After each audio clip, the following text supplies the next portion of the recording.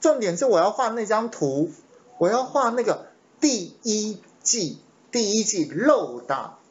的数量在各年间的表现。我现在我们要画图喽，这个文字方块这些都是其次，现在你要听的是如何画图才是比较重要。好，第一空白地方点一下，第二主管最容易看的图其实就是群组直条图，群组直条图是最容易被大家看懂的图。X 轴是不是就放各年？接下来我要选择的是栏位，这里面日期好多日期，你不要选错了。我们是不是有一个叫做出生日期二？通常会用这个出生日期来去做，所以请勾出生日期，它就变到年。接下来我的 Y 轴就是值，我要勾的就是刚刚这个数字，我用新增栏位创造出来的。预防针第一季，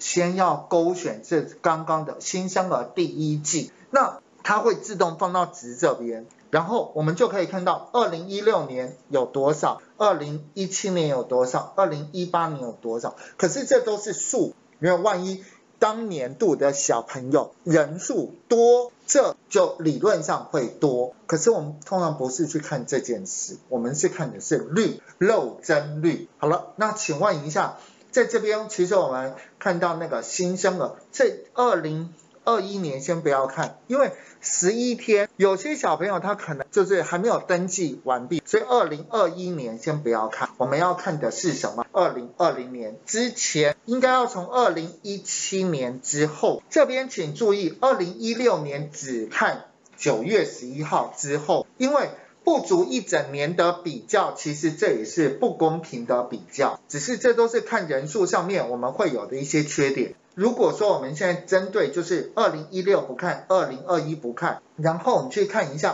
B 肝第一季漏针它有没有什么季节性，所以我们就点它，可以发现第四季最多就是漏针的行为，它在第四季是偏高的。你看，当我只要点一下它，这就是行为模式。我希望说我们到时候建立的名单应该是针对在漏针之前我们。就先抓到这些人就是会漏针。那刚刚是不是讲说这个是第一季漏打人数？那请问一下，漏打人数，我觉得应该要被谁来除会比较好？应该要被那个新生儿人数来除，那个就是漏针率了。所以我觉得我现在要教你，先教你这第一季，你才有可能会懂什么两个月前的，因为那些我都帮你算完了。